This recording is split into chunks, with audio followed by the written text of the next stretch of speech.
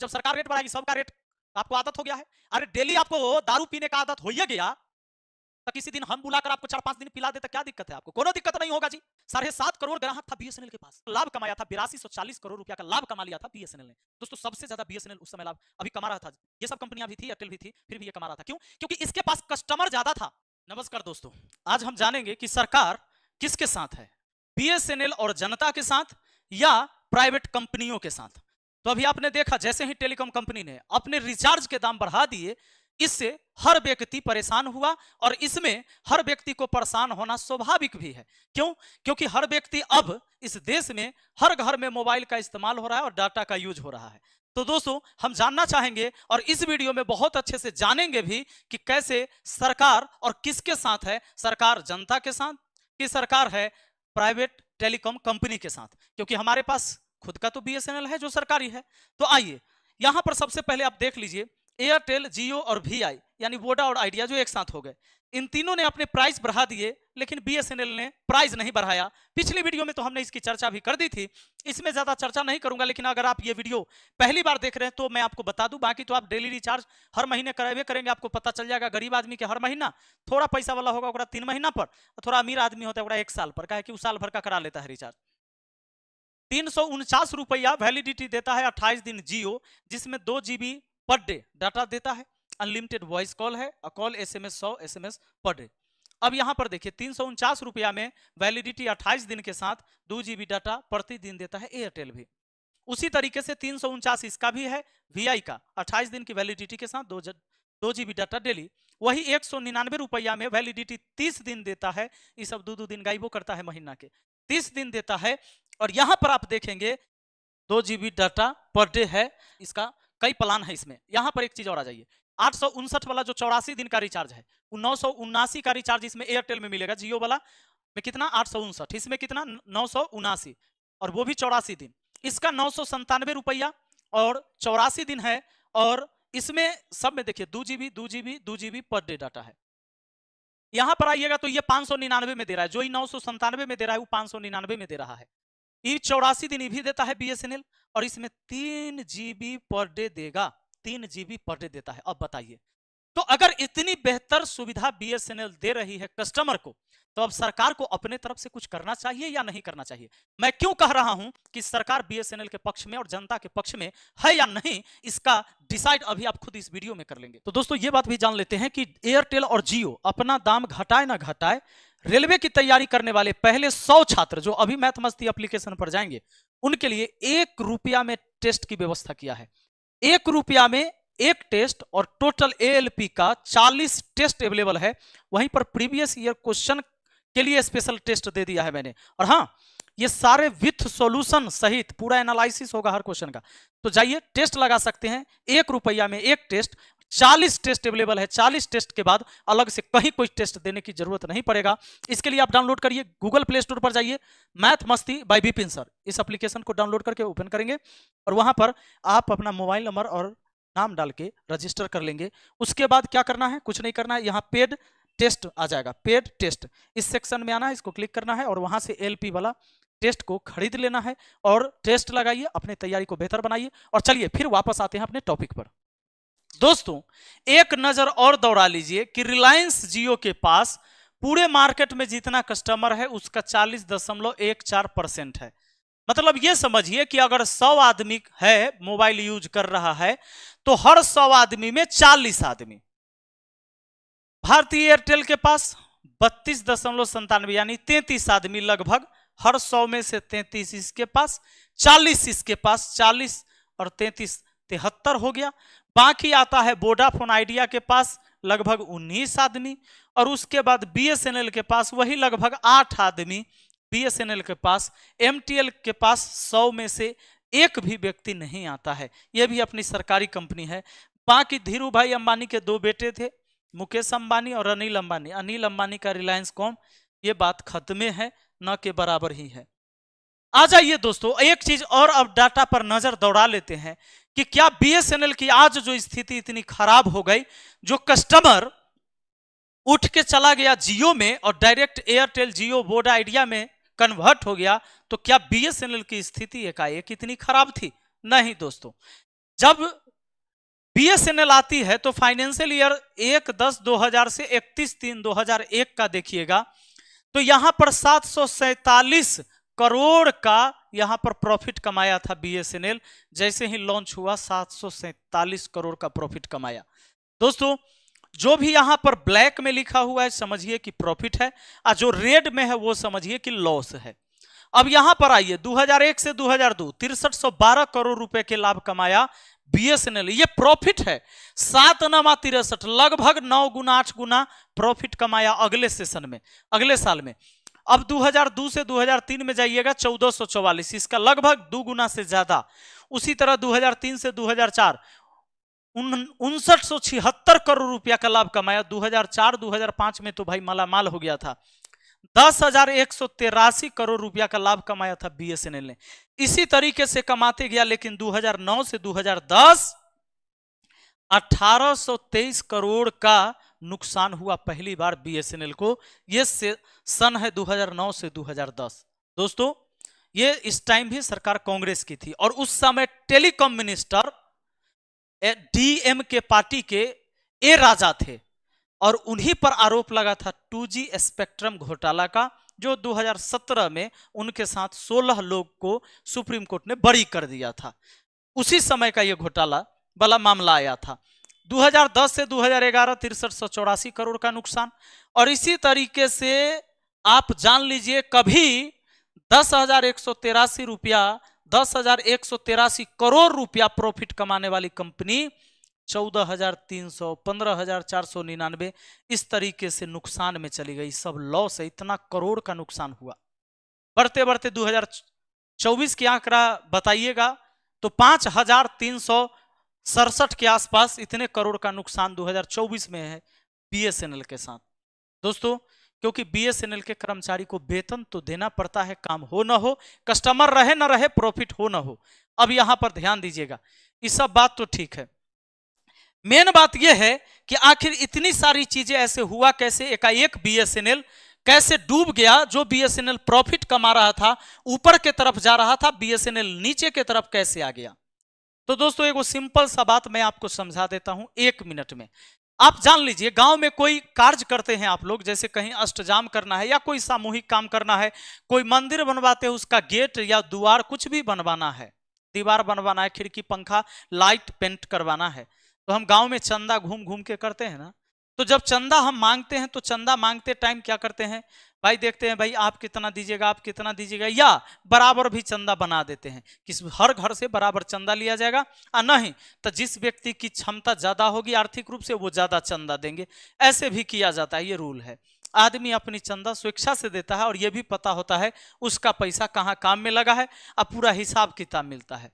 दोस्तों, भारत के हर एक पार्टी को चुनाव लड़ने के लिए पैसे की ज़रूरत होती है, चंदा की ज़रूरत होती है। और ये चंदा कौन देगा? हम आप तो देते नहीं, हम आप तो उस समय आटा के लिए रहते हैं बेचैन, और अभी डाटा के लिए बेचैन है। उस समय तो हम लोग कहते हैं कि राशन दो राशन दो, तेल दो, कि राशन दो, जे देना है दे दो। मतलब उस समय सोचते हैं, आम जनता की कुछ तो मिले, और इस आधार पर भी हम वोट करते हैं। हालाँकि ये सभी जनता नहीं करते, लेकिन कुछ लोग तो इस इस बात पर भी वोट करते अब पार्टी को चाहिए पैसा पैसा कौन देगा? तो बिजनेसमैन अब वो चंदा क्यों देगा? क्योंकि चंदा है तो धंधा है, यही तो योजना चलती है। अब मान लीजिए, आप कोई चुनाव लड़ रहे हैं विधायक के लिए और आपके पास पैसा नहीं है चुनाव लड़ने के लिए तो अगर दस लोगों ने आपको सपोर्ट किया, कोई दस लाख, कोई बीस लाख, कोई पंद्रह लाख रुपया आपको दिया, कोई पचास लाख रुपया दिया, आप चुनाव लड़े। चुनाव लड़ के आप विधायक बनते हैं तो उस क्षेत्र में काम करने का टेंडर या ठीका किसको दीजिएगा? उसी को दीजिएगा ना, जो व्यक्ति आपके पीछे पैसा लगाया था। सच्चाई तो यही है। तो सेम इसी प्रोसेस के आधार पर चंदा फॉर धंधा चलता है और यही वजह है कि इन कंपनियों ने, कौन कंपनी? अब बीएसएनएल कंपनी तो सरकारी कंपनी है। यह कंपनी कैसे किसी को चंदा दे सकती है? रेलवे थोड़े किसी को चंदा दे देगा, सरकारी स्कूल किसी को चंदा थोड़े दे देगा, सरकारी अस्पताल किसी को चंदा थोड़े दे देगा भाई। वो तो सरकारी है तो चंदा देगा नहीं। तो चंदा कौन देता है? प्राइवेट संस्थान। तो प्राइवेट संस्थान जब चंदा देगी तो सरकार क्या उसको वापस पैसा देगा? नहीं, पैसा नहीं देगा, काम देगा।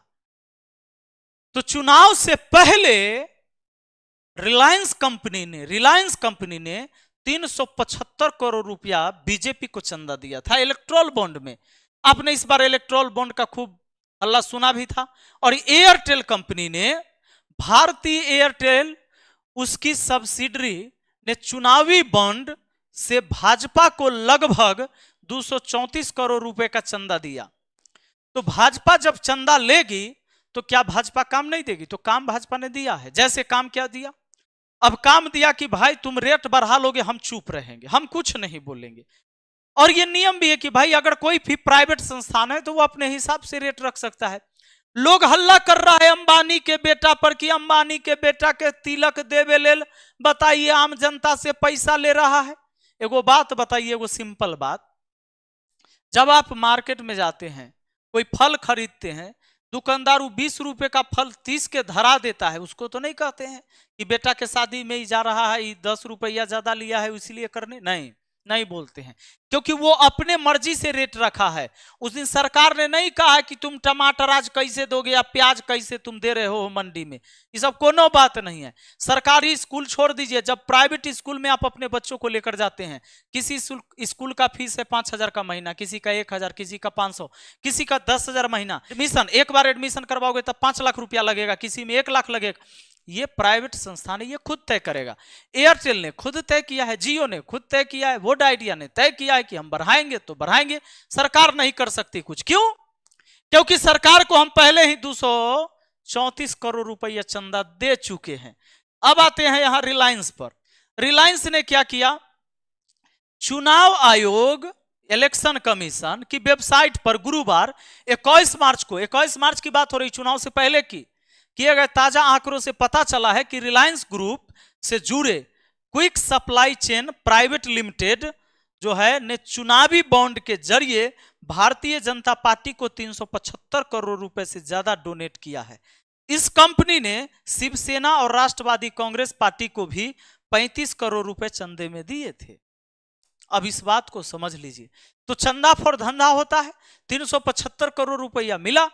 तो अब बताइए इस पैसे की वसूली के लिए क्या जियो अपना टैरिफ का रेट नहीं बढ़ाएगा? अपने रिचार्ज का प्लान का कीमत नहीं बढ़ाएगा? क्यों नहीं बढ़ाएगा जी? अगर आप कहीं पैसा इन्वेस्ट करते हैं तो आप पैसा निकालने के लिए नहीं सोचिएगा क्या? आप बिल्कुल सोचिएगा। लेकिन यहाँ हम कहेंगे, अंबानी तो बेईमान है। कैसे बेईमान? वो पैसा तोरा दे देता अच्छा और वो पैसा जब तोरा से लेता गलत। और सुन लीजिए अब जो गोदी मीडिया है, यही आपको भ्रामक चीज़ आपके दिमाग में भरेगा कि यही में जियो दोषी है एयरटेल दोषी है बोडा आइडिया दोषी है। लेकिन वो ये नहीं बताएगा कि किसके बदले क्या हो रहा है। धंधा फॉर चंदा का खेल चला ही नहीं समझाएगा। किसी और वीडियो में आज हम जो बात करने वाले हैं, ये बात करने वाले हैं कि अब चंदा जो दी जाती है जो पार्टी का सरकार होता है, उसी को ज़्यादा चंदा क्यों दिया जाता है? यहाँ से आप तय कर पाएँगे कि क्या यह सच बात है कि चंदा फॉर धंधा? तो आइए 2018 से 19 की बात पहले करते हैं। इसमें यह भाजपा का देख रहे हैं 1450 करोड़ रुपया चंदा लिया भाजपा ने। यह भाजपा है, ये ब्लू कलर में तृणमूल है। तृणमूल को मिला था संतानवे दशमलव दो आठ करोड़, जबकि यहाँ पर कांग्रेस को, ग्रीन वाला कांग्रेस है। कांग्रेस को मिला था तीन सौ तिरासी करोड़ का चंदा 2018 से 19 में। 2019 से 20 में जाइए तो यहाँ 2555 करोड़ रुपया का चंदा लिया। यहाँ पर किसने? भाजपा ने। तो कांग्रेस ने लिया 318 करोड़ का चंदा। और फिर देखिए 2021 से 22 में यहाँ पर दस करोड़ का चंदा लिया भाजपा ने तो 236 करोड़ का कांग्रेस ने। और 2022 में जाइएगा 22 से 23 में तो ये हर साल चंदा, हर साल चंदा। तो यहाँ पर चंदा लिया गया तेरह सौ करोड़ भाजपा के द्वारा तो इसके द्वारा लिया गया एक सौ इकहत्तर करोड़ का चंदा कांग्रेस के द्वारा। अब दोस्तों, इसमें देखिए, आप जानते हैं चौदह से ही सरकार है भाजपा की तो यहाँ पर आप देखिए, सबसे बड़ा बड़ा खंभा भाजपा के ही है। आप देख लिए, इसका मतलब कि जो पार्टी सरकार में रहेगी, कोई भी कंपनी चंदा उसी को देगी। क्यों? ज़्यादा चंदा उसी को देगी। क्यों देगी? वो इसलिए देगी कि वो देगा धंधा। अब ये सबको कहला देगा चंदा तो ये लोग को भी कुछ कंपनियाँ ऐसी होती है कि चाहता है कि ई पार्टी भी ज़िंदा रहे, या कुछ कंपनियाँ इसको भी चंदा दे देगा, और वही कंपनी इस पार्टी को भी चंदा दे देगा, ताकि जब इस पर कोई हल्ला हो और मेरा नाम लिया जाए, उसमें ये विवाद न करे। ताइए, जब तीसरा आदमी कहेगा कि भाई एक घूस लिया है एक लाख तो ई भले ही आपका विरोधी आपका विरोधी, दोस्त नहीं, विरोधी कहिए। आपका विरोधी भी घूस ले ले, आप भी ले ले तब विरोधी न न हल्ला करेगा, जी? कहे कि एक के आदमी से दुनो लिया है तो कैसे बदनाम करेगा? ये कहानी होती है। तो जानबूझ के कंपनियाँ दोनों को चंदा देती है। तो चंदा फॉर धंधा का मॉडल आप इस चंदा से ही समझ गए होंगे, ये धंधा है भाई। अब बात कर लीजिए एक चीज़ 2006 से 2007 में ग्राहक और रेवेन्यू के आधार पर सबसे बड़ी कंपनी बीएसएनएल थी। यानी साढ़े सात करोड़ ग्राहक था बीएसएनएल के पास। वहीं भारतीय एयरटेल के पास पाँच करोड़ था और आरकॉम के पास था चार करोड़ ग्राहक। अब बताइए रेवेन्यू इकतालीस हज़ार दो सौ करोड़ का और यहाँ पर लाभ कमाया था बिरासी सौ चालीस करोड़ रुपया का लाभ कमा लिया था बीएसएनएल ने। दोस्तों, सबसे ज़्यादा बीएसएनएल उस समय लाभ अभी कमा रहा था ये सब कंपनियाँ भी थी एयरटेल भी थी, फिर भी ये कमा रहा था। क्यों? क्योंकि इसके पास कस्टमर ज़्यादा था। और कस्टमर अगर ज़्यादा है तो प्रॉफिट होगा। तो क्या सरकार अगर जनता और बीएसएनएल के बारे में सोच रही है तो सरकार एक बार हमारे माननीय प्रधानमंत्री या टेलीकॉम मिनिस्टर एक बार बोल देते कि भैया अगर कोई भी व्यक्ति प्राइवेट रिचार्ज कराने से, प्राइवेट कंपनियों के सिम से थक गए हो रिचार्ज करा के और महँगा लग रहा है तो अपना सरकारी कंपनी है ना जिंदाबाद? कराइए रिचार्ज, कराइए एमएनपी लीजिए बीएसएनएल का सिम और उसके बाद हम देंगे बढ़िया सुविधा 4G देंगे, आने वाले बहुत जल्द समय में हम आपको 5G लॉन्च करके देंगे। जब यह सरकार चुप्पी साध रखी है इस बात पर जहाँ देश के हर एक लोगों की ज़रूरत है। आज छोटे छोटे बच्चे से लेकर प्रतियोगी परीक्षा की तैयारी करने वाले बच्चे ऑनलाइन पढ़ाई करते हैं, जिनको डाटा की ज़रूरत होती है, इंटरनेट की ज़रूरत होती है। वैसे बच्चों के हित में काम होता, देश के हर एक वर्ग के लोगों को फ़ायदा पहुँचता तो सरकार फिर चुप क्यों है? क्यों नहीं कहती है कि भाई हम बीएसएनएल को बेहतर बनाएँगे और आप लोग बीएसएनएल से जुड़िए? क्योंकि बीएसएनएल के पास जब कस्टमर ज़्यादा था बीएसएनएल प्रॉफिट में था और बीएसएनएल ने गड़बड़ काम किया, सरकार ने डुबाया, कर्मचारी ने डुबाया। तो ये डूबते डूबते इतना डूब गया कि कस्टमर धीरे धीरे खत्म हो गया। तब ना नुकसान हुआ जी। तो आज तो कस्टमर बीएसएनएल के तरफ़ जाने के लिए बेचैन है। बीएसएनएल और सरकार अपनी बाहें फैलाए और कहे कि, भाई आइए, हम तैयार हैं आपके स्वागत के लिए। हम तो आपके अपने हैं। लेकिन क्या सरकार एक बार भी बोलने के लिए तैयार है? नहीं। काहे जानते हैं दोस्तों? क्योंकि बीएसएनएल को खत्म कर देना ही सरकार की नीति है। जब बीएसएनएल खत्म हो जाएगी, आप गौर कर लीजिए, आप जहाँ से भी होइएगा बड़े बड़े शहरों में बीएसएनएल के एरिया है, ज़मीन है, जहाँ एक्सचेंज ऑफ़िस है, बहुत बड़े बड़े स्तर पर इनकी बनी हुई है वहाँ पर सेंटर। अब उस ऑफिसों को बंद किया जाएगा। बड़े बड़े एरिया है उनको दे दिया जाएगा कॉरपोरेट को। अब वो क्या करेंगे? बड़ी बड़ी इमारतें बनाएँगे, अपनी बिल्डिंग बनाएँगे, उसमें अपनी कंपनी चलाएँगे, होटल चलाएँगे और फिर धंधा दिया गया तो चंदा दिया जाएगा। धंधा फॉर चंदा, धंधा फॉर चंदा, धंधा फॉर चंदा। ये खेल चलते रहेगा और यही खेल आगे जारी रहेगा। और नहीं तो तुरंत कस्टमर तो आने के लिए बेचैन है। सरकार क्यों नहीं है बेचैन? सुविधा देने के लिए। गोदी मीडिया आपको क्या दिखाएगी? इसमें भी फ़ायदा गिना देगी। तिहारी चौधरी जब आएगा तो आपको दिखाएगा कि लोग यहाँ परेशान हैं कि सबसे ज़्यादा डाटा महँगा है भारत में, लेकिन यह बिल्कुल गलत है। विकसित देशों में हमसे भी ज़्यादा महँगा डाटा मिलता है और आपको यहाँ लेकर आएगा और आपको दिखाएगा कि देश, भारत भारत में एक जीबी डेटा का औसत खर्च भारत में छ रुपया संतावन पैसा है प्रतिदिन का, वही इजराइल में आठ रुपया तीन पैसा एक जीबी पर तो इसराइल में तो महँगा हो गया। और इटली में जाइएगा तो इकतीस रुपया उनचालीस पैसा। इटली तो औरों महँगा है।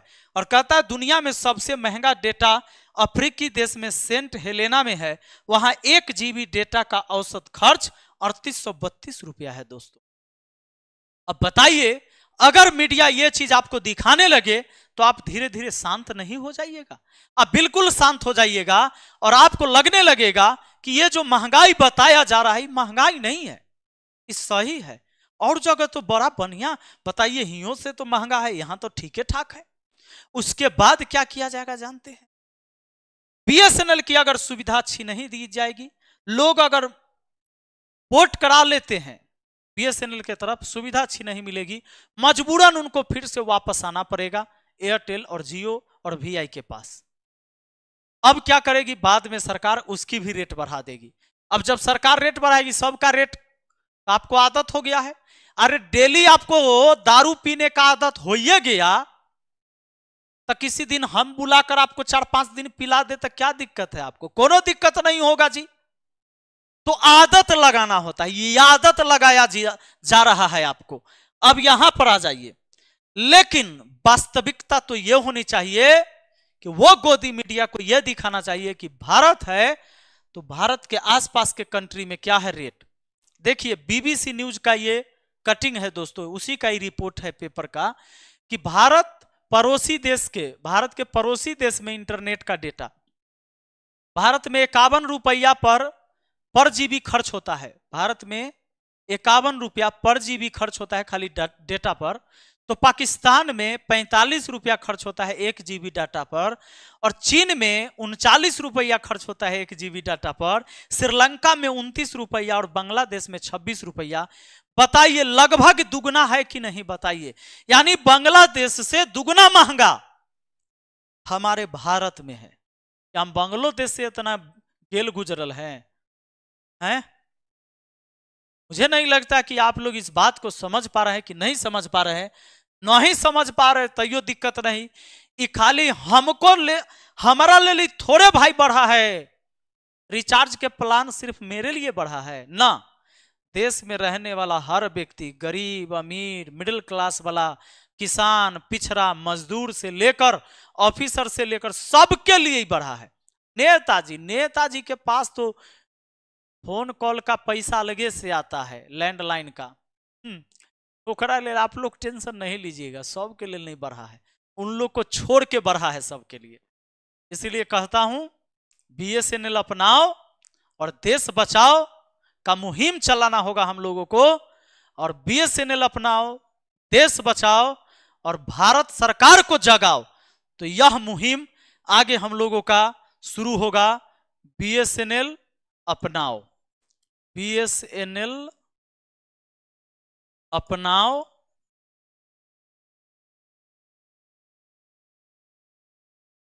देश बचाओ। बीएसएनएल अपनाओ। देश बचाओ। यही नारा होना चाहिए, क्योंकि ये देश की हमारी संपत्ति है। बीएसएनएल अपनाओ। देश बचाओ। सरकार को जगाओ। सरकार को जगाओ। ये मुहिम हम लोग को लेकर चलना पड़ेगा दोस्तों। जहाँ कहीं भी आपको सोशल मीडिया का कोई भी प्लेटफॉर्म यूज़ करते हैं, वहीं लिखिए बीएसएनएल अपनाओ, देश बचाओ, और सरकार को भी जगाओ। क्योंकि सरकार अगर रेट बढ़ाएगी तो आप एकदम आंदोलन करके ऊपर बात कर सकते हैं। लेकिन प्राइवेट कंपनी अगर अपना दाम बढ़ा लेती है, आप कुछ नहीं कर सकते हैं। मुकेश अंबानी अगले पाँच साल के बाद चुनाव लड़ने नहीं आ रहे हैं। चुनाव लड़ने फिर से मोदी जी आएँगे। इसलिए ये सुनेंगे, मुकेश अंबानी आपका सुनने वाला कौन है? कहला सुनेगा। तो झूठाऊ का चिल्लाइत रहोगे, बेटा के शादी में, बेटा के शादी में तिलक देवे ले तू बढ़ा दिया है, गरीब जनता से पैसा लेगा। खेला आया समझ में? चलिए समझ में आ गया है। तो भेज दीजिएगा कुछ लोगों को। जरा लगता है कि मुकेश अम्बानी जो है, बेटा के शादी करे ले लोगों से चंदा लेने की ज़रूरत है हम लोगों से। ये बात नहीं है, खेला कहीं और से है। चलिए बहुत बहुत धन्यवाद। मिलते हैं फिर अगली वीडियो में। थैंक यू जय हिंद, जय भारत।